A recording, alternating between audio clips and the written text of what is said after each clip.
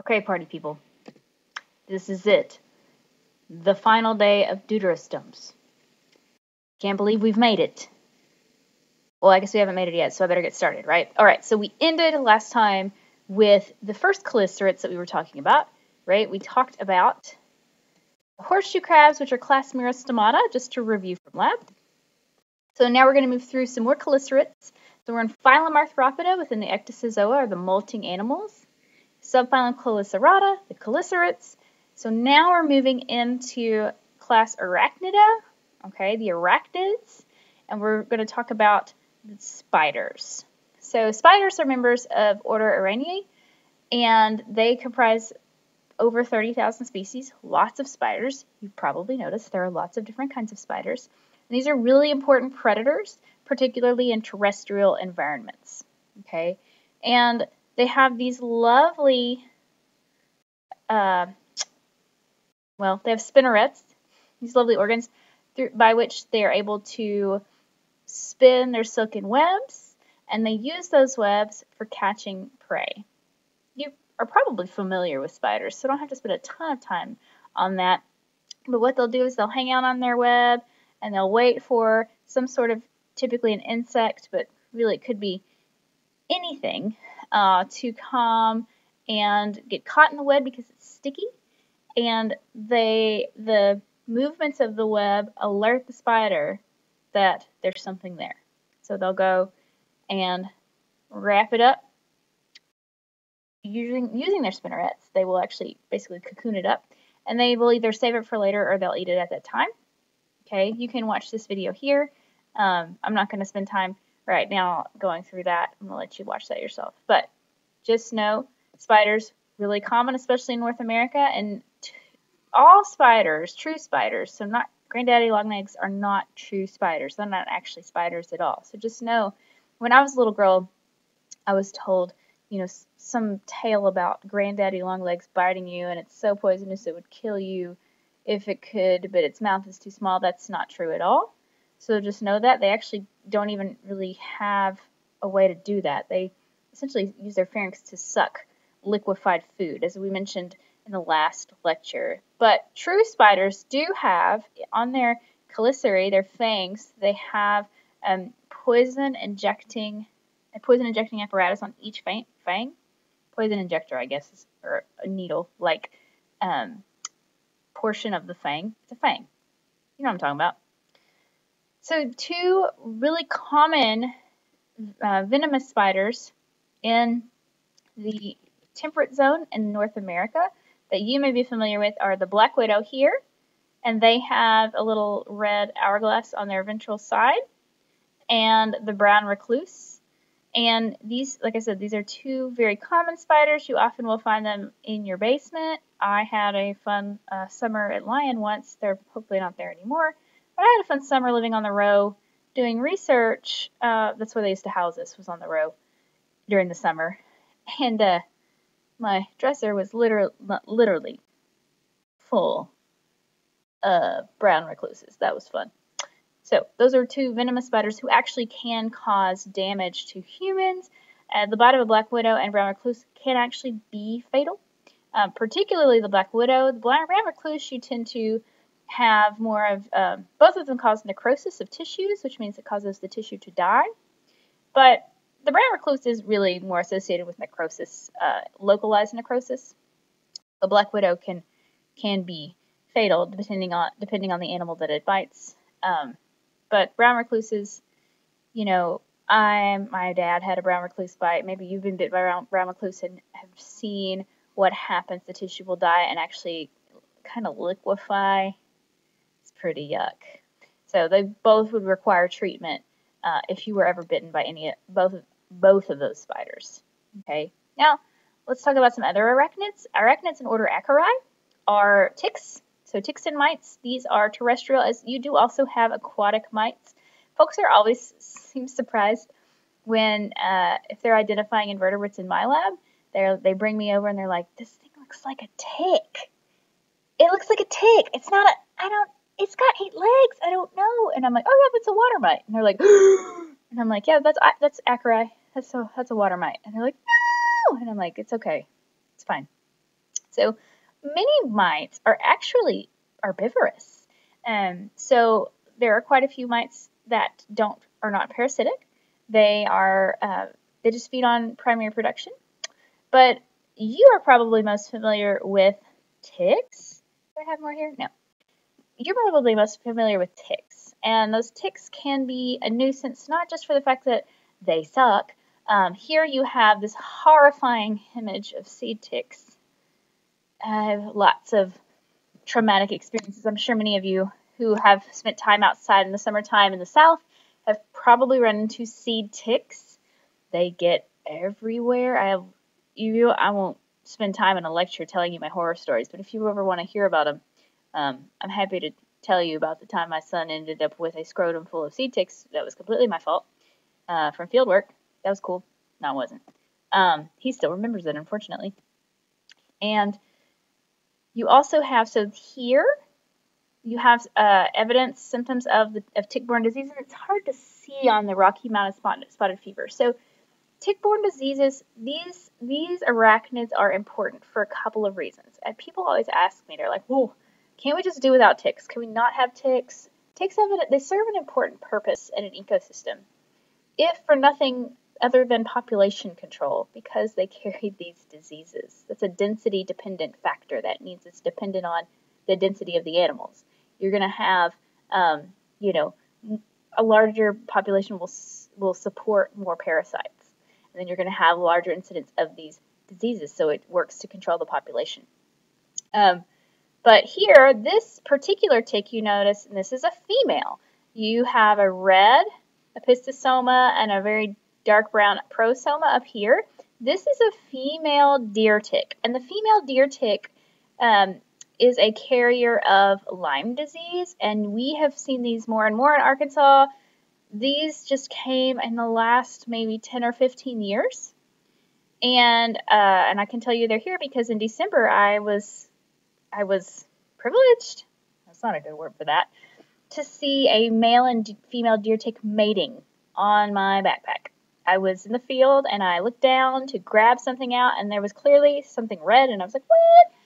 It was a female deer tick, and there was like something on her on, on the underside. You could tell something was holding on to her. So the female is on top, and they're actually facing each other. The male holds on from the bottom to fertilize the female. Um, the female's go, um, gametes. So, and the male is much smaller and just kind of brown. They almost look like small dog ticks. The males do. But they are deer ticks. It's a different kind of tick, and they can give you Lyme disease. And Lyme disease is um, a pretty nasty tick-borne disease that can be treated with antibiotics. Um, this is the telltale Lyme disease. Uh, we call that the target, the target rash. The it's a bullseye or bullseye rash. I think of a target. Um, bullseye, same thing. So you have a really bright center and then a ring around it. If you ever see this, you should immediately seek medical attention because the sooner you, you treat Lyme disease, the better off you'll be. It is very treatable in the early, early stages with antibiotics.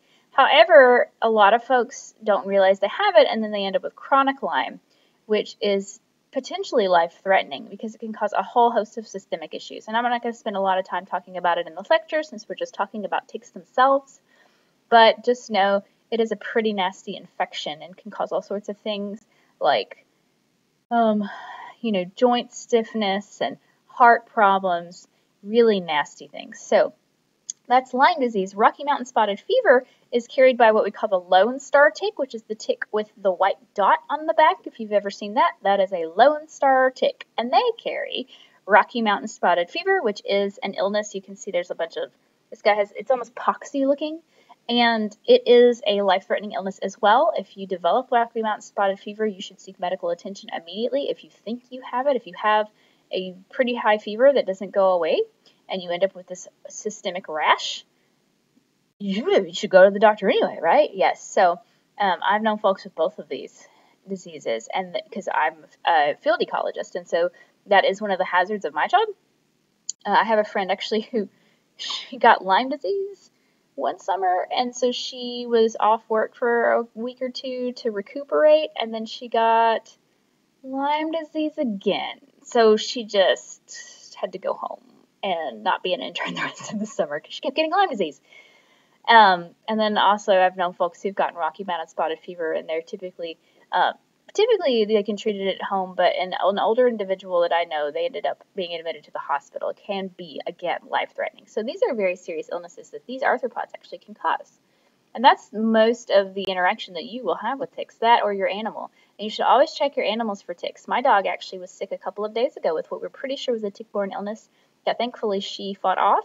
Uh, but it was pretty scary for a couple of days. I called the vet and they said, you know, she started to act better on the third day because you usually wait maybe one or two days. She was okay.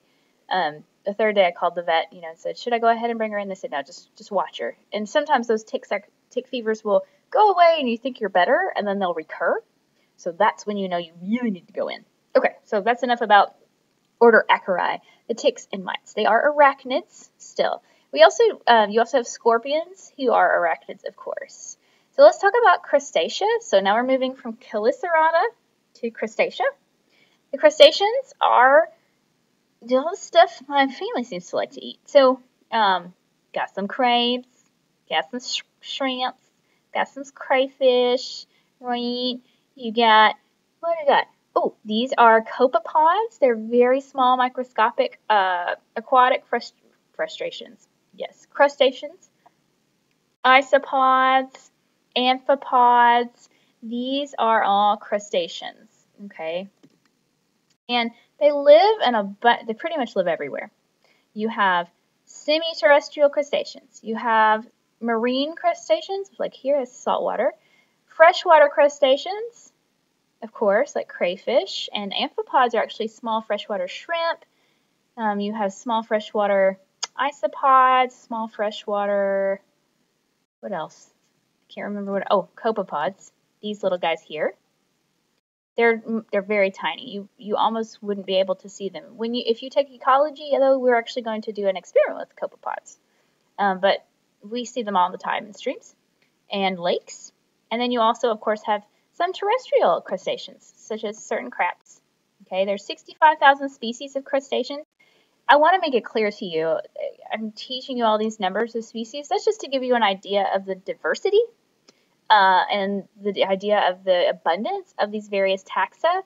You don't have to know the exact number of species. I don't expect you to be able to tell me that there are 65,000 species of crustaceans. That's really just for reference, okay? And that's true for all the animals that I tell you there's, you know, there's 42,000 species of these. You don't have to know the exact number.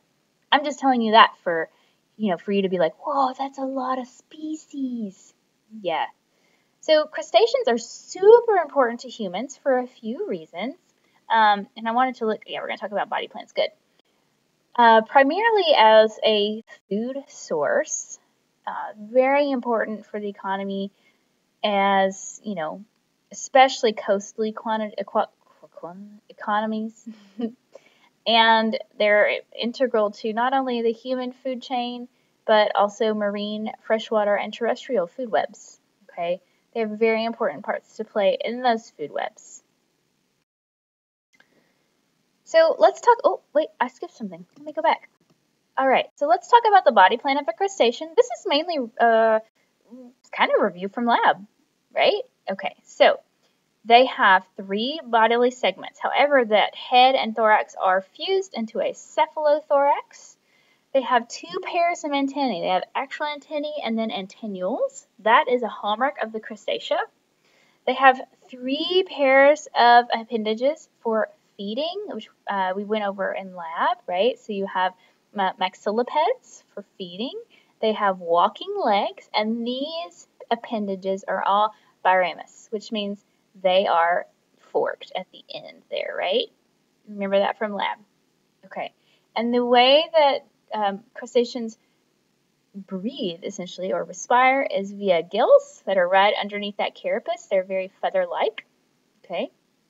Um, and just to kind of go over some of this here um, briefly. Oh, hey. So we have your chelipeds here. Those are those claws right? You've got antennae and antennules, all right? It doesn't really show very easily. You've got maxillipeds, which are used for feeding.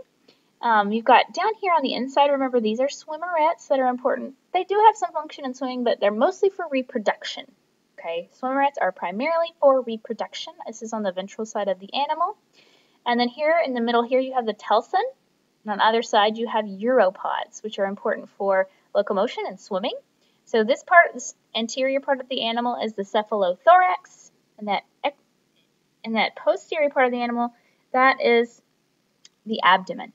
Okay, great. So crustaceans are gonochoric, which means that you have male and female, and I'll show you in a few minutes precisely how to sex, we call it sexing, sex a crayfish and, and various other kinds of crustaceans, except for barnacles. So barnacles are not gonochoric. You do not have male and female barnacles. They are monoecious, um, but they do cross-fertilize each other, kind of like earthworms do. Okay, cool. Oh, and just showing you a couple of these little buddies. So um, if you're not familiar, you've got, so these are amphipods. Those are those freshwater shrimp. Um, not a really good, this is, looks, like this is a little crayfish right there. It's kind of hard to tell. This is the end of a copepod with eggs. All right. And to be honest with you, I can't remember what I was showing you here. I'm sorry, guys. Oh, yeah, no, I do. Here's the underside of, um, looks to be a it's a lobster or a crayfish, but there are actually um, eggs developing embryos, not just eggs, fertilized eggs, um, embryos on the under underside there, because the females will actually carry the eggs around them. We call that being in berry. You don't have to know that, but they, if you look at the underside of a of a female crayfish in berry, there are, it looks like she's got a bunch of very tiny crayfish underneath her, and little and little clear pods. It's really cute, actually. So let's talk a little bit about development of crustaceans. Mainly, there's not a ton you need to know. Don't worry. But essentially, they tend to stay in the egg until they hatch out and they look like a little crustacean. However, um, they go through this nauplius stage. And the nauplius stage is a hallmark of crustacea. So this and this nauplius stage is one of the clues we have that all of them shared a common ancestor. So it was really important. This nauplius stage was the clue, and um, early clue in resolving crustacean phylogeny. Here's an actual picture of a. So nauplii, which is the plural for nauplius, these are the larvae. They have three appendages, okay, and they actually will go through um, a couple of metamorphoses before they become full adults. So you have the Nauplius larva here. You don't have to know the various stages, okay? I just want you to know that they, the crustaceans have a Nauplius larva, okay? You'll see this word again in ecology too. All right, so that's all you need to know about that. But one cool thing I want to tell you about is crustaceans, or er, crustaceans. I am telling you about those. Barnacles. So barnacles are crustaceans. They're sessile, and basically, you've probably seen barnacles on maybe ships um, or rocks if you've ever been to the ocean. And when you have a barnacle, they go through the Nauplius stage, but then they have this other stage. You don't have to know the Cypris stage, but then they become an adult. And here's what's really cool. So free-living barnacles um, attach to substrate with these glands they have like basically they're called cement glands. And so they form that hard base, right? And so they become fixed to this place. And essentially it's like held there by its forehead because those cement glands so the cement glands are base are, they're secreting this from the base of their antennae on their head. So they basically do this, and they stick to a place, like this. That's fun. All right. And inside, um, the, the animal will end up with its limbs projecting upwards. So these are actually the barnacle's legs. And the rest of the animal is in here. Okay. So if you could actually see it, so here are the legs, here's the head. And so basically the cement glands you have from the antennae have secreted this home you might think of, this this carapace there for the barnacle. It's going to stay there. That carapace is not part of part of the barnacle that will move because they're sessile. And essentially, the it's like it's on its back, but its head is stuck. That's barnacles, man. I promise. So they're filter feeders. They use these legs to catch food, and then they'll um, bring them in these leg or cirri inside to to eat food. Pretty crazy, right?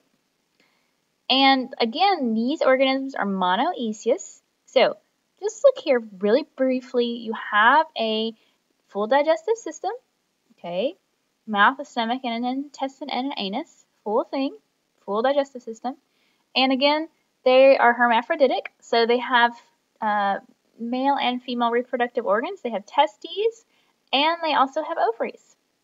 But again, like like earthworms, they cross fertilize. And funnily enough, I think this is funny because I'm five years old. Come back. Barnacles have, relative to size, many of you may know this, some of you don't, so this will be fun. Barnacles are the animal with the largest penis relative to its size. Now, it's not the largest penis like ever in the animal kingdom overall. That belongs to a whale, but um, I believe it's the blue whale. I'll look that up.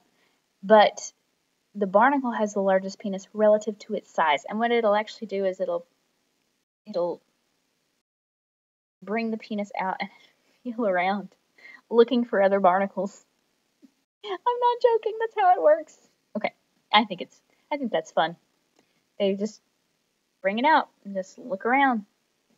It's like another, it's like another night. Yeah. Okay. So that's barnacles.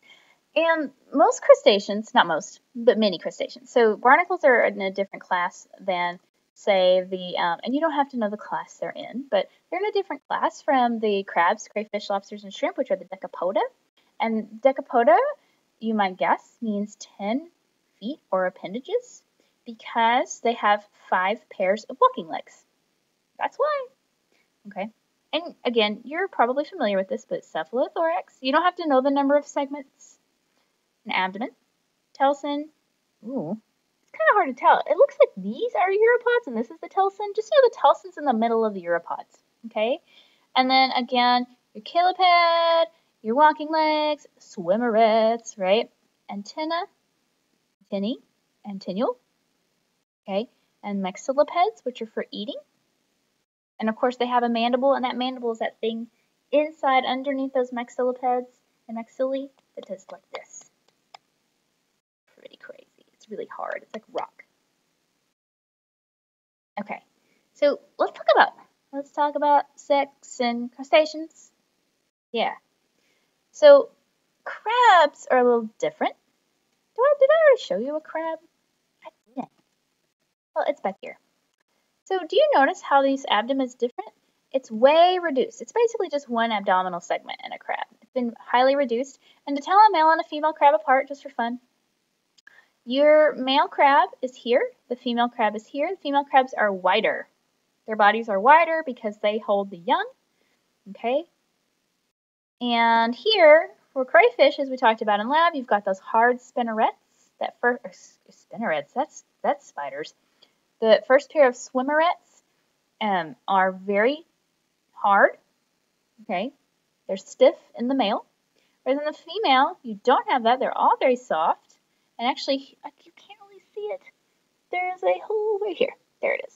Okay. Just ignore that. Don't worry about that, y'all. Okay. Let me give let you look at that again. So, see really stiff there, not here. And really, you could just say the absence of those very stiff and um, prominent first swimmerets is a clue that you're looking at a female. Okay. So again, you've got this nice abdomen here in lobsters and crayfish, whereas in the crabs, it's highly reduced, right? Um, not sure why those barnacles are there, but you can study that. We went over all this. They're sessile. I, I think that I got this out of order, and I'm sorry. Um, hermaphroditic, and then those are their licks that they catch food with. That goes earlier. I'm sorry, guys. All right, we're still in crustaceans. Now let's talk about isopods. So isopods are also crustaceans and they are terrestrial. They're the only true crustaceans who are terrestrial. And they are, you actually, well, you have um, aquatic isopods. This is an aquatic isopod. Lots of aquatic isopods in the streams that I study. Um, you also you have even some parasitic isopods that live under fish tongues. And if you played with roly polies as a child, you were actually playing with an isopod. And what does that mean? So iso meaning the same and poda meaning feet or appendages. They basically have a bunch of these walking legs that all look the same. They don't have really differentiated, super differentiated chelipeds or anything like that, like the crabs and the the lobsters do.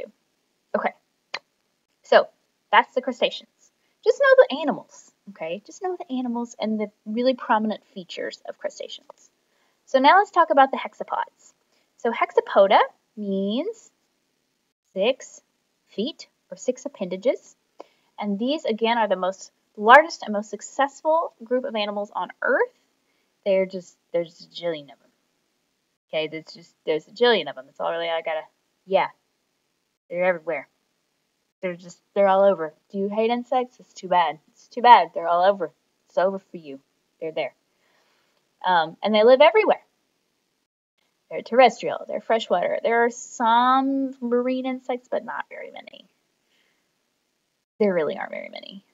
Um, and you have, you tend to have a lot more diversity in the tropics, which is really a true across all taxa, just so you know. So your book has this really beautiful table that allows you to see the various orders of insects.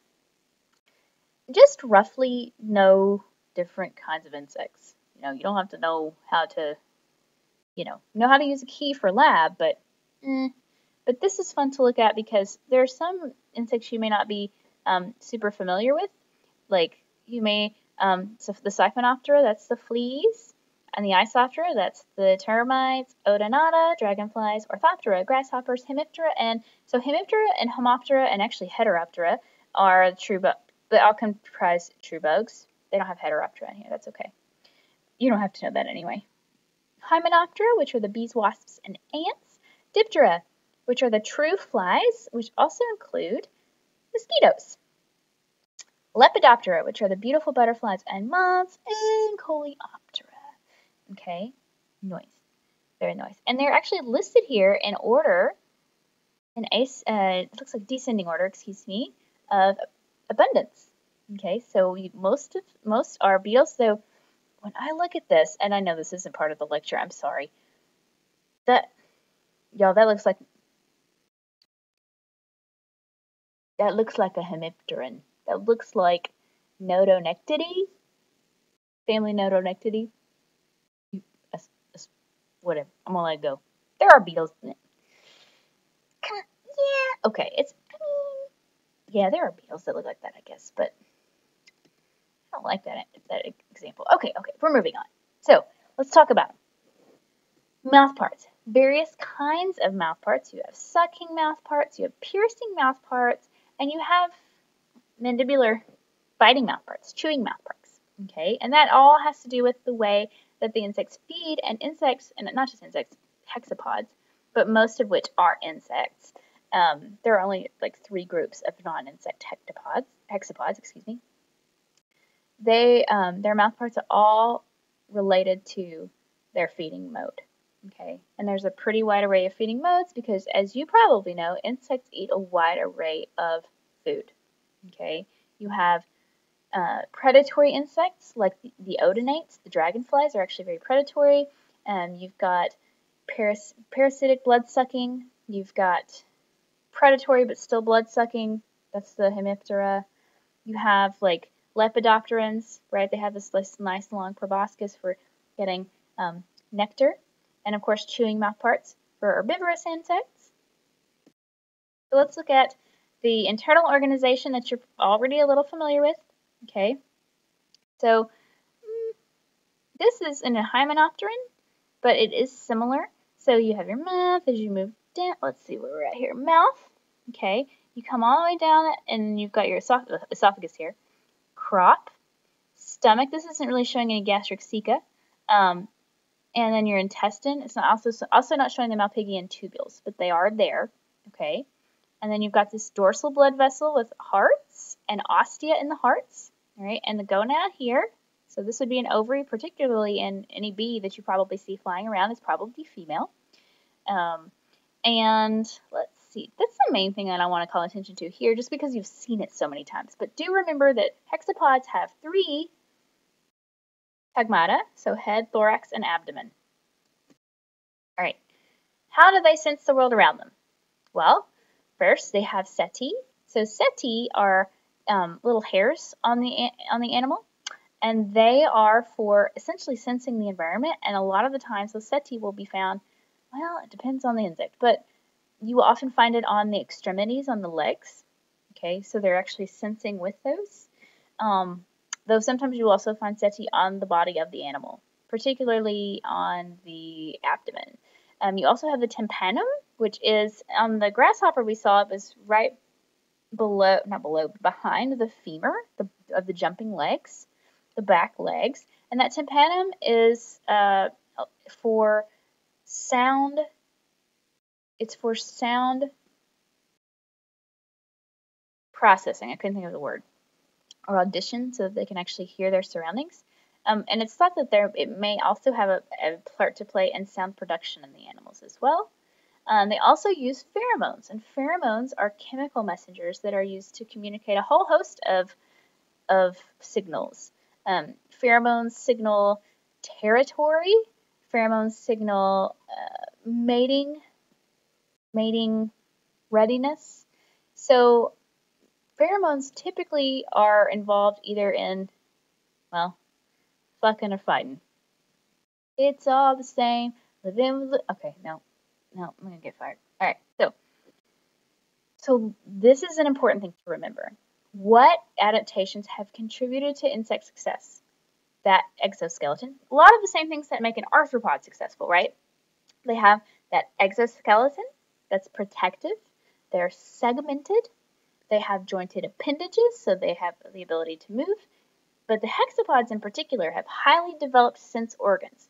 They have those, those compound eyes, they have simple eyes, they have a tympanum, well, they have two tympanum um, on either side, and they can fly. So that has been made them very successful as animals. And I just skipped way ahead. All right. So let's talk about insect development. Insects, in particular, go through a period of metamorphosis, just like many of the other arthropods. And oftentimes, um, this metamorphosing is is what's the word? It is. I can't think of words when I'm trying to record a lecture. The metamorphosis is staggered. That's it. Um, so that you have, you know, when you have an adult and they lay an egg, you don't have another, you know, you don't have another larva just immediately hatch into an adult, right? You actually have larval stages and pupal stages. And these larvae and these pupa, pupae, they develop over time. So that actually reduces intraspecific competition for mates and food. It's pretty ingenious. And actually, in in ecosystems, various types of insects, both freshwater and terrestrial, the life cycles themselves of the different groups are staggered. And so, for example, in aquatic systems, you'll have one group of nymphs or babies, larvae, emerge as adults several weeks before another group is emerging. So you have a reduction in interspecific competition in that way, which is pretty cool, I think. The timing is just perfect. Okay, that's all about the hexapods in lecture. Not too bad, right? I hope not. I hope some of you are not sitting there going like, this is too much. Just, just know the really important things about these animals. And in our last um, meetup, I think what I'm going to do, not I don't think, I know. So our last meetup is the last day of class. And I think this Friday and next Friday, I would like to kind of review a little bit some of the really high points that you really want to be sure to pay attention to make sure that you spend a lot of time um, thinking about and studying. So just be aware of that. We're actually going to talk about that. I have plans to highlight, you know, not just to be like study these things, but things that are going to be particularly important for you to learn and take away from this class this Friday and um, next Friday, May 1st. Okay, cool. And you know, I'm off, also open to doing an extra review session if you want to, though I think it would be more efficient for you, given all the time that you are spending already on class, that we try to do it on Fridays, right? Okay, cool. So let's go on to our last, um, our last subphylum of arthropods, and then I think we'll have a few minutes just to start on deuterostomes, because I'm trying to go ahead and get you through it if we can. So, and I, um, I'm actually going to be shortening some of the lectures on deuterostomes and cutting out some of the extra stuff we talk about because just really to, to make efficient use of your time. Okay, so let's talk about myriapods. The myriapods are the many-legged dudes. They're the many-legged. Many feet. Lots of them. That I mean that's what it means. I'm not joking. That's what it's called. Myriapods. Myria means many. Poda means feet or appendages. So let's talk about it. So chilopods and the chilopods. So chilopods are the centipedes. Okay, and the chilopods are so the chilopods and the diplopods, which are the millipedes, are fundamentally different animals. My dog. Oh, here. I'm teaching him my count right now. It seemed like a good spot today. Tonight. It's night. Okay. Yes. I. Are you like? You're like. Wait. Are you lecturing like around the clock at this point? Yes. I am. Okay. So chilopods. Chilopods. Something right here. Hold on. Yes, I know what I'm doing. Yes, I'm sorry. This is not a subclass. I don't know why it says subclass. it's a it's a class. I don't want to confuse you.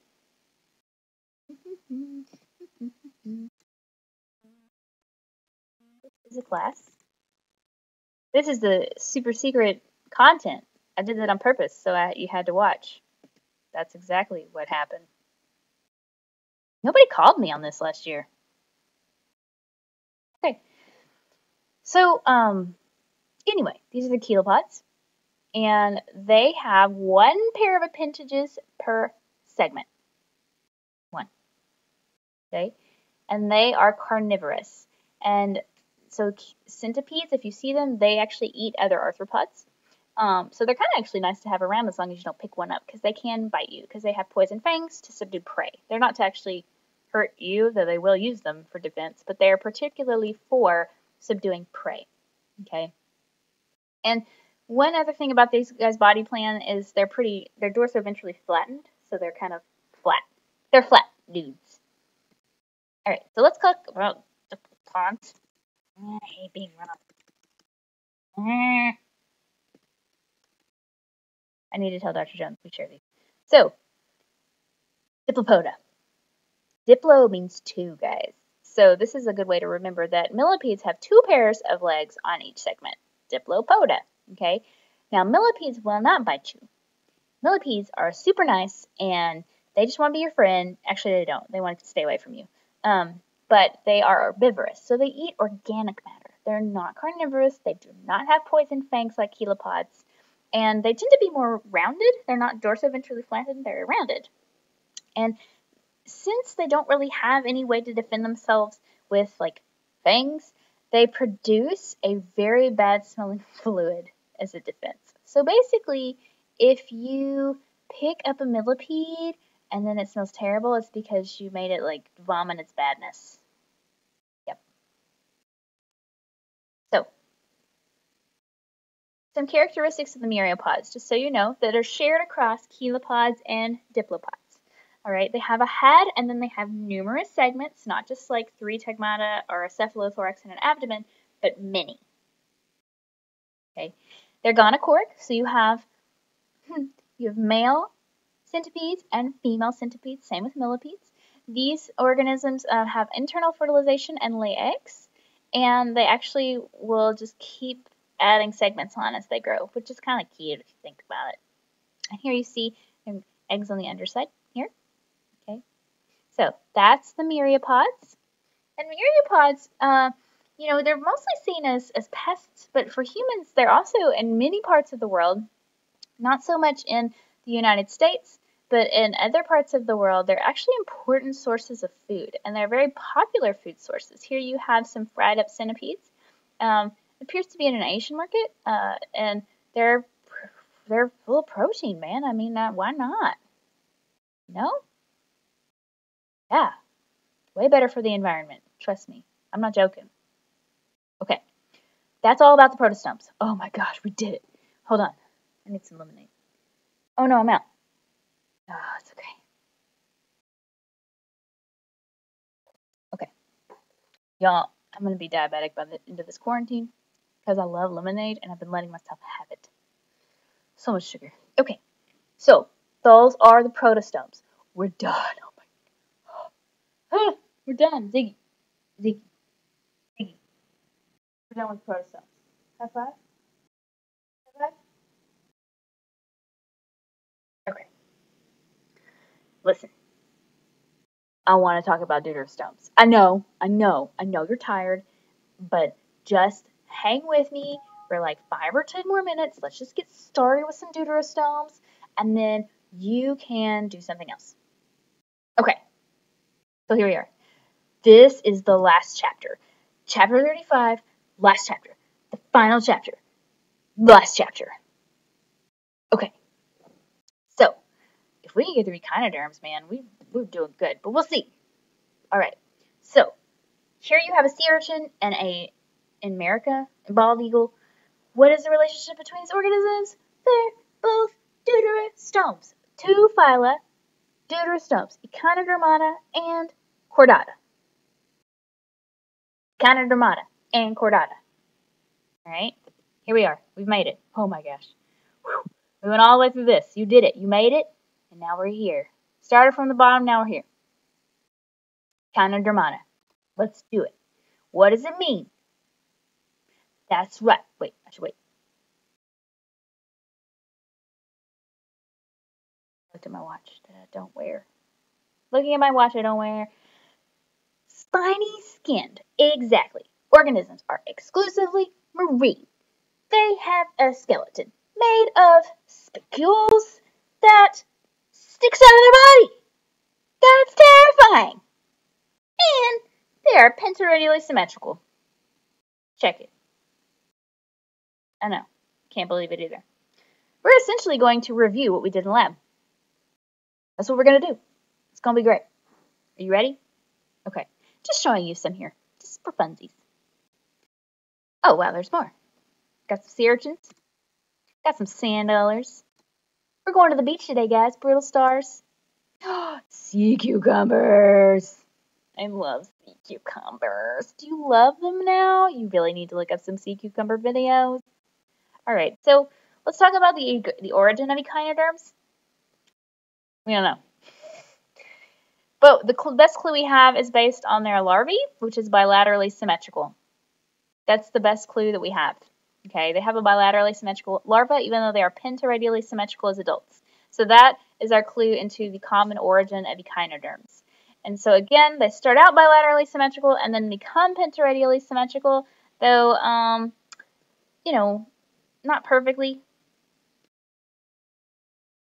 And you have this oral surface. It is their mouth. Well, that's actually showing you the mouth, sorry. But I was just pointing to the tube. This is easily pentaradially symmetrical. Not so easy to, to parse out here. But if you looked at the organism head on. So, and that's what that pentaradial symmetry is about, looking at the organism head on. They do not have a centralized nervous system. So that's a pretty interesting thing about the echinoderms. No centralized nervous system. Okay, they have this endoskeleton that's made of calcium carbonate ossicles and is covered by their their epidermis. Um, and they have they can well they can be tightly or loosely jointed depending on the echinoderm we're talking about. Okay, because there are lots of different kinds, a pretty wide diversity in this phylum. All right. And we talked about the water vascular system, which is really important for the organism, primarily for movement, but it's also important for, well, really important for gas exchange as well, and has a role to play in feeding as well. So movement, feeding, and gas exchange, because uh, the water vascular system controls the movement of tube feet, and that tube feet, those tube feet are really important for movement, really important for breaking apart like food mollusks uh, bivalves and eating them, and bringing in water full of oxygen into the animal. So it's important for those three things. We mainly talked about it in terms of eating and movement, but it's important for all of those things in the animal. Okay, so if you come in here, come in here. Oh, no, not in there. There. Now come back. Okay, so let's go through that water vascular system briefly.